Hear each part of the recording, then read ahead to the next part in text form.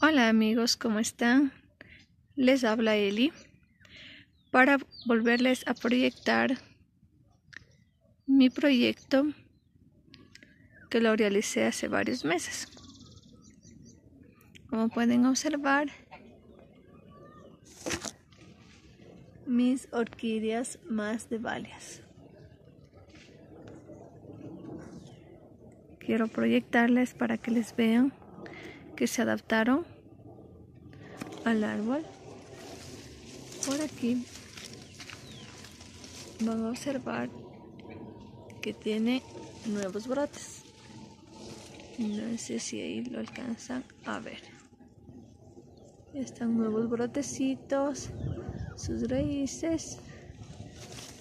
Como les dije, les puse en esas mallas para que retengan humedad. Acompáñenme por favor. Vamos a observar las otras que también las puse en árboles. Esta está en un árbol de pera. Aquí está mi musgo natural, como pueden observar. Está muy lindo. Son sus cápsulas. Se adaptó de igual manera a este arbolito. Miren qué lindo que está. Y mi más de valia. Miren mi sorpresa que me llevé que ya va a florecer. Eh, no recuerdo el color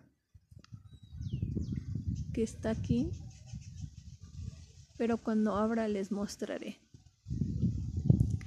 Como les dije, se adaptaron muy bien. Este está en un, huequito de una rama de la pera se, se partió. Entonces ahí quedó ese orificio y le puse a mi base de valia. Como ven, se ha adaptado mejor que las que tengo en malla. Miren ahí, qué espléndida que se ve. De igual manera ha sacado nuevos brotes. Esta hojita es un nuevo brote y su varita floral. Espero y se animen amigos a realizar un pequeño proyecto como el que yo hice. Como ven, las orquídeas se adaptaron al árbol. Cuéntenme amigos si tienen proyectos como este me gustaría saber y qué consejos pueden compartir ustedes con nosotros. Si no has visto el video de cuando las puse, por favor, puedes revisarlo, estén en mi canal. No olvides suscribirte, darle un like si te gustó el video y coméntanos qué te pareció esta experiencia con mis orquídeas más de valias. Bye bye amigos.